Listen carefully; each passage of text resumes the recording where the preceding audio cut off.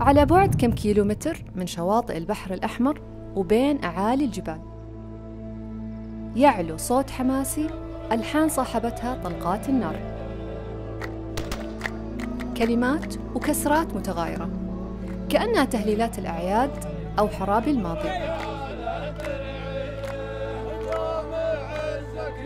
أربعين من الرجال انقسموا واصطفوا وبدأوا يرقصون لابسين الثوب الحياسي ومتزينين بالمجاميع والسيوف.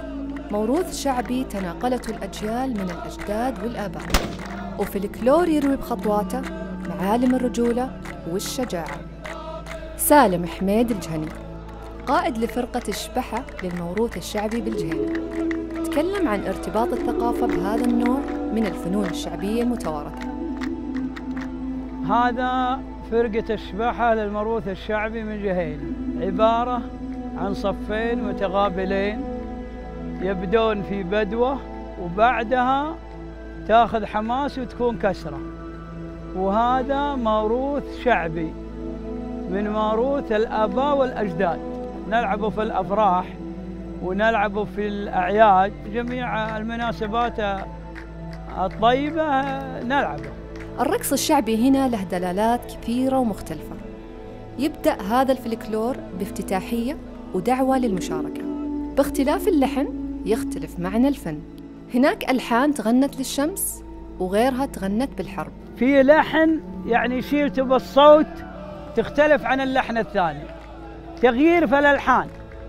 لأنه لو مشى على لحن واحد ممكن يأخذ له شوط كذا ويعجز. لعجز اللحن ده يبدون باللحن الثاني. البدوة مثل ما تسمعون دحين المواريد سهلة وتصد العسير. يندبح واحدا يمشي بلي سلاح. هذا اللحن حرابي وكلام حرابي. كانوا في قديم الزمان يحدون حدا حرف الآن حنا الحمد لله نلعب طرب في الأفراح وذا. تجي كسرة مثلا وثوبي من الصرمة قصير ما ينماز مثل الخيبرية. هذا ينزلون بالثياب الحياسية. ينزلون اثنين ثلاثة يطبون ثوب عريض يلف يلف لين مرات حتى يقول لك كانوا في قديم الزمان الثوب كان يطلع منه كامل ويجلس ويرجع للثوب.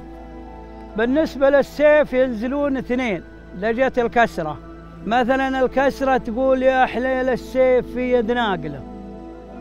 ينزلون اثنين يتبارزون بالسيف. المقاميع كمان لها كسرة. ياخذونها رقصة في في الحلقة ويرمون. كل شيء استخدموه لتعزيز هذا الفن والمحافظة عليه فمثلا ملح البارود مستخرج من الجبال وحتى الفحم استخرجوه من الأشجار. نعم نعم الملح بارود يورد نار ويعطي صوت ليس طلقة حية إنه صوت. في مواقع هنا في الشبحة يستخرج منها الملح. يستخرجون الملح هذا من مواقع من الجبال وفي فحم له ياخذونه من الأشجار ويعملونه له مهوان يدقون فيه ويدقونه ويصفونه ويطبخونه ويعملون فيه كذا حتى يصبح جاهز تعبئة المطاريف والمجمع والإطلاق. لكل حركة ولحن وكلمة دلالة في هذا الموروث الشعبي. قصيدة أدائية تنقل روايات الماضي للمستقبل.